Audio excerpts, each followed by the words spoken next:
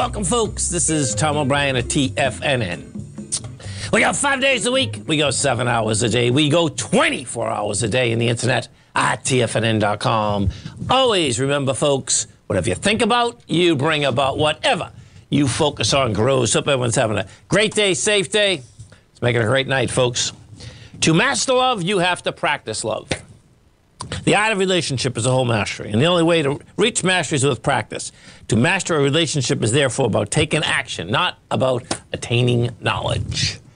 Market wise, let's take a look at it out here. We have the Dow Industrials up 696, Nasdaq's up 339, S&P's are up 101. Gold contract trading down a dollar 20 at 1709 flat. Silver's off 16 cents, $18.67 an ounce. Light sweet crude up a buck 36 at 103.95. Notes and bonds. The 10 year note down 16.6, 117.31. The 30 year off 19 at 138.21. And King Dollar. King Dollar is down 652 ticks, trading at 106.714. The euro is at 102. The yen is trading at a price point of 138. The British pound is at 119 to 1 US dollar. Our phone number is 877 927 6648. Give us a call, folks. Want to know what's going on in your world? In the world of the S&Ps, let's take a look at them. What do you have? Well, bottom line, market wants higher price.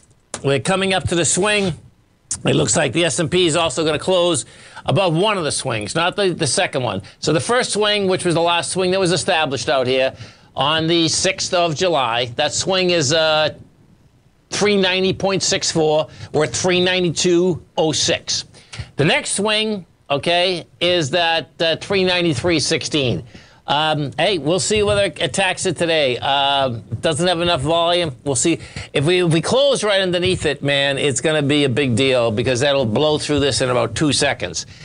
That being said, let's get over to and look at the NDX 100. For the Qs, uh, basically, SMHs are leading the Qs, the Qs are leading the NDX, uh, and the NDX is dragging everything up with it. So, what do we have? They're at the Qs right now, the swing point on the Qs, 296.57. You're at 298.15.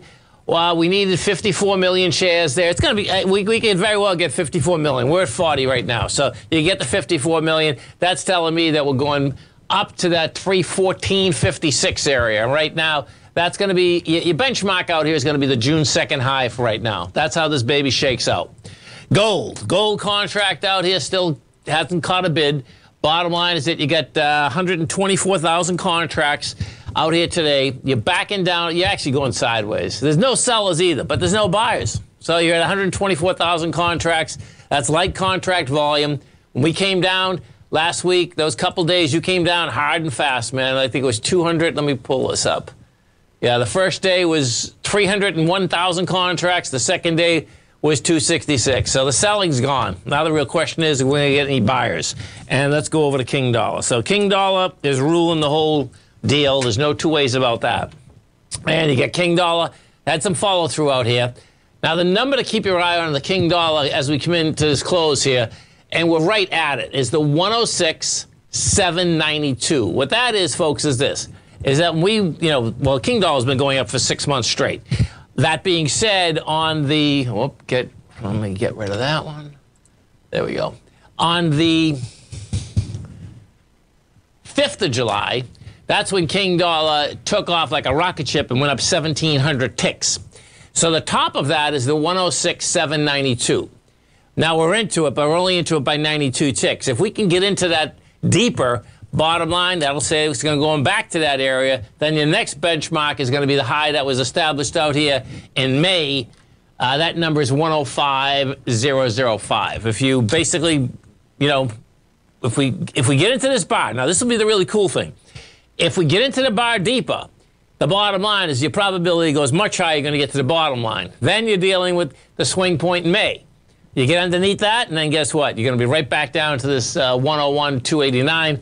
So if you're trading this market, I'd keep your eye on the dollar because the correlation is absolutely direct. Dollar down, market gets breathing room. Dollar up, market gets strangled. It's that cut and dry. We go take a look at, uh, let's go to Twitter because what's happened here, Elon Musk is going to be in for a shock, folks. I mean, it's going to be really interesting. You know, he's, he plays with the law on a continual basis. No doubt about that. Uh, but guess what? the Chancery Court is a whole different animal. And so what you get is this. So let's, I'm going to go through this for you so you can actually see what came down here. Because the, and you remember something, the Chancery Court of Delaware, okay, is not your typical court. It's not even close, okay? They, it's, all the corporations are there. They're well versed in all the legalese, and they're also well versed on Wall Street being sharks and screwing each other on a continual basis. So here's what came down Twitter uh, can fast track its lawsuit against billionaire Elon Musk over the canceled $44 billion buyout. Uh, the Delaware chief just chief judge ruled Tuesday that a five-day trial should take place in October. The decision is an early victory for Twitter. Um, lawyers for the San Francisco-based Twitter had said they needed only four days to prove that the world's richest man must honor his agreement to pay 54.20. Um, the let's see. Under the buyout agreement, Musk is ob- ob- obligated to finalize the deal within two days of all the closing conditions being met. These conditions will be met in early September. Uh, and the bottom line, the judge said that in asking for February trial, Musk lawyers underestimated the ability of this court to quickly process complex legal disputes over merger and acquisition cases.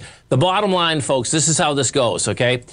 It's specific performance. And what specific performance is, they can get you for the whole ball of wax, okay?